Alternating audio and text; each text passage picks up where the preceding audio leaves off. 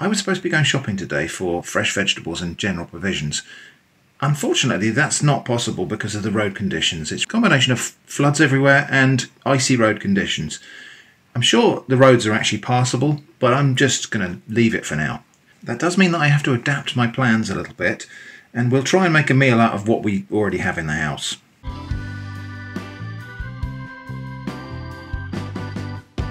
Now my cupboards are usually pretty well stocked anyway, so this is not a case of us scraping around and finding the last of everything, but I'm going to have to just improvise something based on what we've got left. So we've got a bunch of vegetables here. We've got a piece of celeriac, we've got some onions, celery, a rather wrinkly and sad looking orange pepper, but it will be fine. Some mushrooms, carrots, parsnips. And from the freezer, I had some portions of chicken here. I've got three thigh portions and one drumstick. I'm going to make a kind of big bash of chicken stew, soup type of stuff. This is all going to go in my combination pressure cooker, slow cooker, which I really love actually and been using a lot lately. Only had this about a month, but I really love it. You could do this in a slow cooker. You could do it in a big pot over a slow gas flame. You could do it in a big pot in the oven. So there's lots of different options for doing this. I happen to be using a pressure cooker because it's fast and relatively economical. But you could do this in anything that will cook things. The idea is to keep this as simple as possible. And there is no browning. So it's just going to be chicken goes straight in. Onions, I'm just going to chop into smallish dice and straight in a pot. Three sticks of celery, again just chopped into small pieces. Carrots and parsnips just cut into... Well, my sizing criteria here is basically what's going to work on my spoon. Celeriac, a lovely winter vegetable, related to celery, but a root vegetable. Really tasty. It's kind of nutty and earthy. If you've never tried it and you like parsnips, you should probably give it a go. My orange pepper cut into quite small pieces. Now, if you think it's kind of weird that I'm using a pepper that's slightly past its best, don't worry about that. In fact, sometimes a pepper that's slightly overripe is the best one to use for a stew or a casserole because it's got maximum sweetness. If I was choosing a pepper for a salad, obviously I'd want something really fresh and crisp. But for a stew or a soup, a pepper that's a little bit wrinkly and soft, as long as it's not rotten, they've often got more flavour and depth than the fresh, crisp examples. And then a few mushrooms, which I've just hacked up into smallish pieces. Now I had a bit of a rummage in the cupboards and I've got some peeled wheat. You could use pearl barley here, very similar sort of idea. This is just wheat grains that have been dehusked. I got this in the Turkish shop. I'm going to throw in about a handful of that. And then red split lentils. I'm getting low on these now. This is one of the things I was going to buy when I went shopping. Again, about a handful of those. And no, I'm not washing them. A chicken stock cube, which is going to give me all the salt I need for this dish as well as obviously some extra flavour. Some of the last of the dried herbs that I brought from the old house. These are my home dried garden herbs. A little dash of Worcestershire sauce because why not? That's going to add a bit of savoury flavour, tiny bit of acidity. I think that'll go alright. And then garlic powder, which is, well, I probably need to get some fresh garlic powder. This has gone a bit clumpy in my not so dry kitchen, but it is still usable. It hasn't gone off. And then I'm just going to cover that with water up to hopefully no higher than the maximum fill level. Now it needs a little bit more liquid in there. White wine would be great, except Jenny can't have white wine because of sulfites in it. I'm going to put some pale ale in there.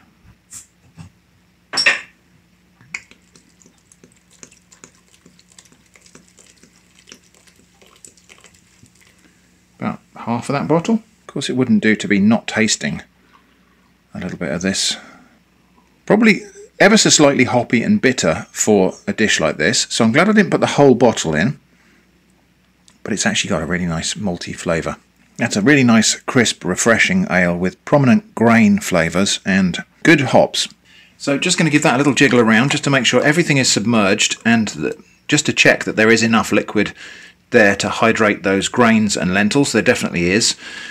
The whole concept of this is basically I've thrown whatever I've got in a pot and I've added some flavours that I think will go with it. Also, there's no browning, there's no long preparation. If I didn't have to be setting up cameras here, I could probably have thrown this together in about 10 minutes. So this is kind of trying to economise by using up what I've got, but also economise by not wasting too much time putting it together. So, lid on, and we'll cook that on the stew setting, which I think will cook for about 40 minutes in the pressure cooker. As I say, you could do that in the slow cooker.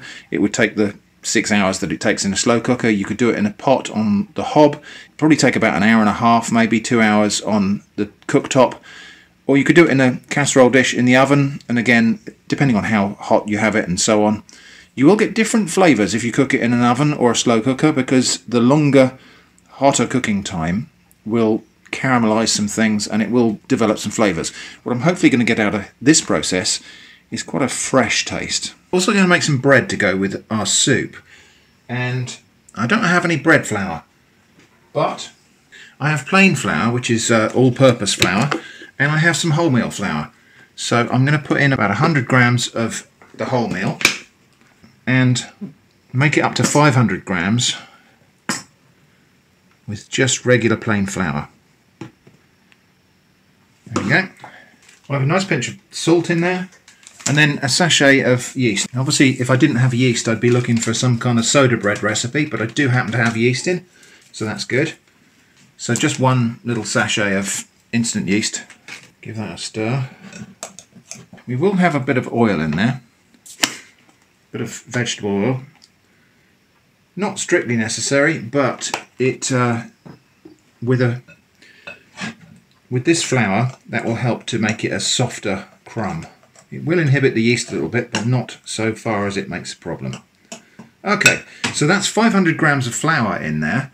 We're going to go for 300 grams of water, or 300 ml of water. Okay, 300 ml of water. That kettle was boiled for coffee this morning. The water is just tepid. It's not hot at all. If it was uncomfortable to put my finger in, it would be unwise to add it to the blend because it would kill the yeast. But it's just warm. And no ceremony or anything here. That just all goes in there.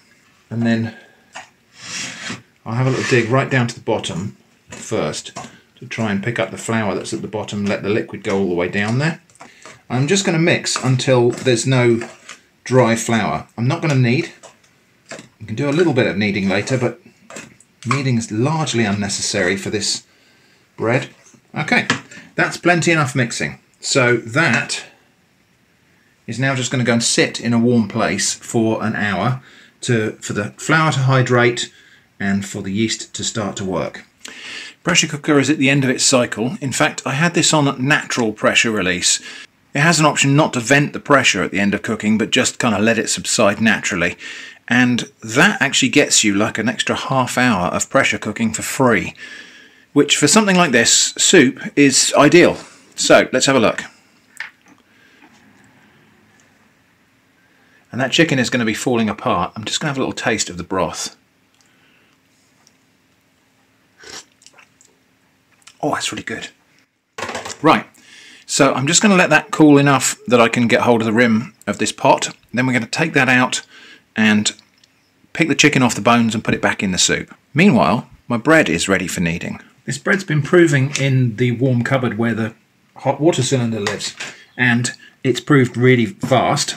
It's more than doubled in size, which is great.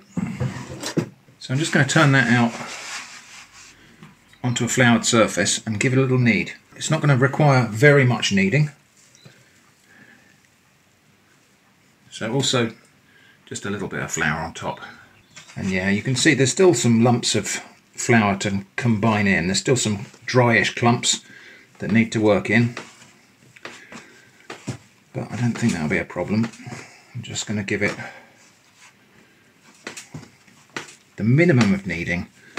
Now, if you wanted to start this bread in the morning and then go out for the day, you could just leave it in a cool place and it would do that proving in six to eight hours. So you could start this off in the morning, go out and do something, and then come back to a dough that's proved and perhaps almost ready to have its second kneading and it's baking. So that's starting to come together. Right, I'm going to stop there. That's all the kneading I'm going to do. And I'm just going to divide that dough into three more or less equal pieces. A little bit of oil on a tray. And then these pieces of dough, I'm just going to roll them between my hands like this to create sort of long sausage shapes. Doesn't need to be particularly neat. We're going to go for something a little bit rustic anyway here. Just stretch those out a little bit. And, you know, there's no particular reason to do this except that it looks nice. It will create some crust that's got a little bit more interesting shape to it and a few more little crannies to get toasty. So we're just going to give each one of these pieces of bread a turn in the middle and then press those ends together and tuck that under and the same at that end we'll just tuck that untidy end under I'll cover it with a bit of oiled cling film can go back in the cupboard until again it's come back up and doubled in size now this chicken soup has cooled to the point where it's still boiling hot but the rim of the pan is handleable I'm going to carefully retrieve those chicken portions. They will be at this point falling apart, so I'll probably end up taking some vegetables with them, but that's not a problem. Okay, that's the chicken. And I'm just going to have a little fish around in there just to make sure I haven't left a bone or anything like that lurking at the bottom. It looks good. So we'll set that aside and just let that cool enough to handle it. Now this chicken's still quite hot, so I'm going to use tongs to save my fingers. I'm just going to pick off chicken into one direction, bones and skin into the other. If I'd let this cool completely, obviously that would be a whole lot easier. Now this skin and these bones, you could theoretically run that through another process where you get some stock, make some stock out of it, but we've kind of done that already by virtue of cooking it in this broth. So quality and flavour that you'll get from it is not great. I'm going to choose to stop there and these will go in the municipal food waste which goes off and gets composted. I think we'll have a separate little dish for the bits I'm saving for Eva. Now chicken bones, not a great idea to give cooked bones to dogs because they can cause all sorts of issues with them, with their digestive system. So common wisdom is not to give cooked bones to dogs. So I will adhere to that. So quite a lot of chicken on those little thighs and that drumstick. Quite a good amount of chicken when it's all broken down like this. And of course when it's distributed in a soup, a little bit of chicken goes quite a long way. Okay, just going to make sure I haven't left any little bones in there. Sometimes on the end of a drumstick you get a little kind of knuckle thing.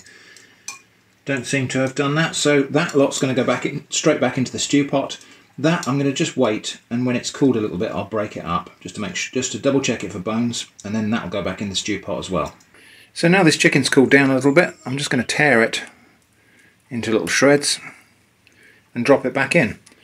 And I will just take off any little weird gummy bits while I'm at it. Eva can have those. I'm not trying to break it up completely into fibres. I'm just going to kind of rip it into pieces that will fit in a spoon. It's beautifully tender. And what we've made here is easily enough chicken stew, soup, whatever you want to call it, for six people. With that nice loaf of bread, which is going to go in the oven in just a moment. So I'm going to freeze some of this soup. I'm going to have some of it this evening. And you could even bulk this up further by adding pasta to it, potatoes, I didn't put potatoes in because in the pressure cooker they tend to disappear down to nothing. But you could add potatoes to it now. You could serve it over some rice. You could, like we're going to do, have it with bread. So there we go, a decent amount of chicken soup and it's it's really hearty soup, look at that. All of these little blobs of fat on here are from the chicken. This is chicken fat, which I'm not going to bother to skim that off, that's flavour. So let's just serve up a little portion of this now and see what it's like.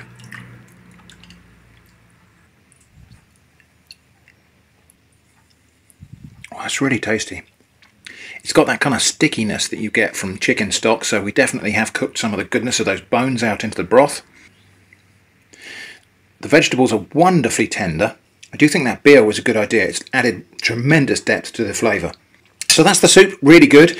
I'm just going to batch that out now. So to batch out this soup, some of it can go directly into the pan that we're going to use for reheating it this evening. So I'll just put kind of two portions, two servings of soup, enough for me and Jenny,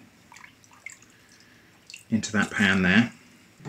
In this container I will put uh, probably about the same amount again and this will go in the freezer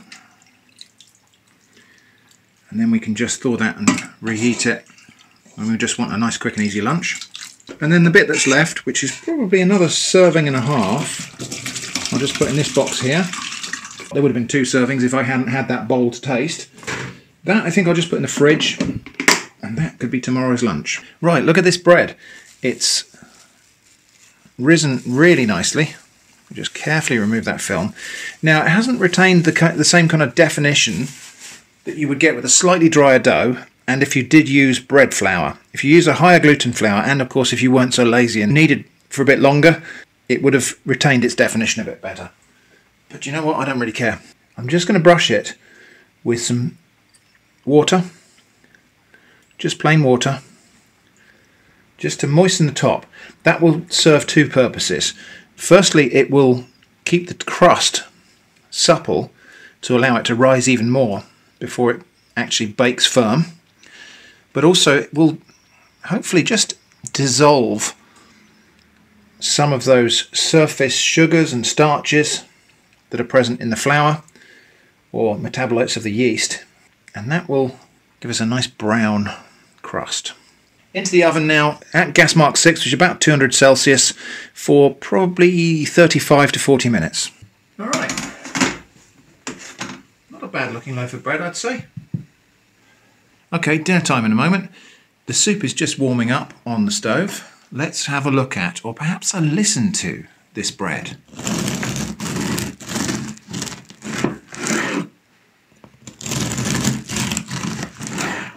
And it's a lovely, light, partly wholemeal loaf of bread.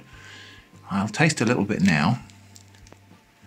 But yeah, you can see, even though that was made with just ordinary flour, not bread flour, if it's consumed on the day of baking or the day after as toast, perfectly serviceable bread. That tastes really good.